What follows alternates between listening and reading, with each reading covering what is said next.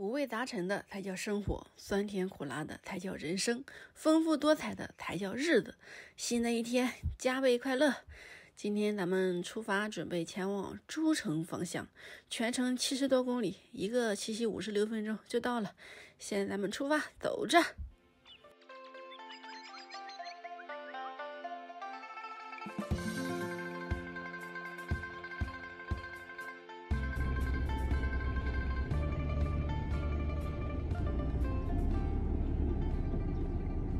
哎呀妈呀，饿了，加个餐吧。看我这方便包，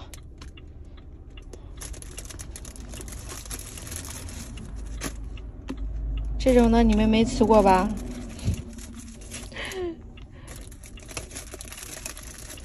再来一片儿，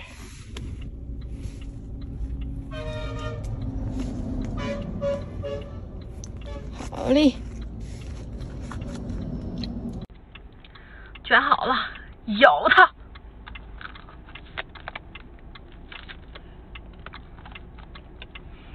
嗯。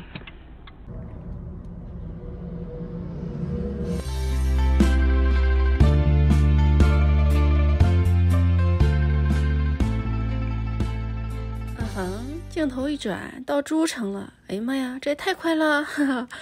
我请你说，今儿咱找这个地方哈，特别的适合停床车。为什么呢？首先，这个地方有厕所，有水啊，可以随便用。这个地方是属于诸城渭河国家湿地公园，这个地方太好了。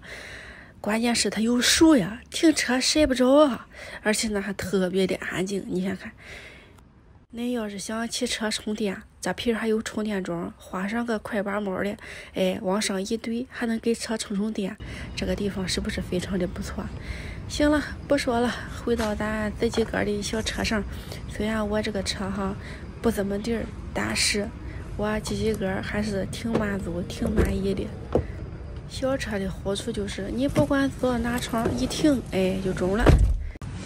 我这些吃饭的家务事都拾掇出来了，先烧上点水哈，嗯，使这个卡式炉烧吧，烧上它满满一大壶。这个小锅儿是专门烧水的。恁望望，恁望望，这不是说话的功夫，水烧开了。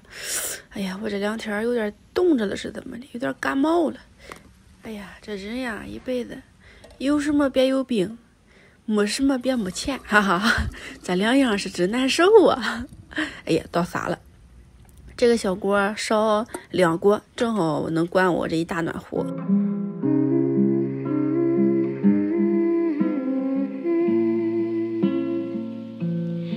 稀里扑噜的收拾完了，敷上个面膜，美美容。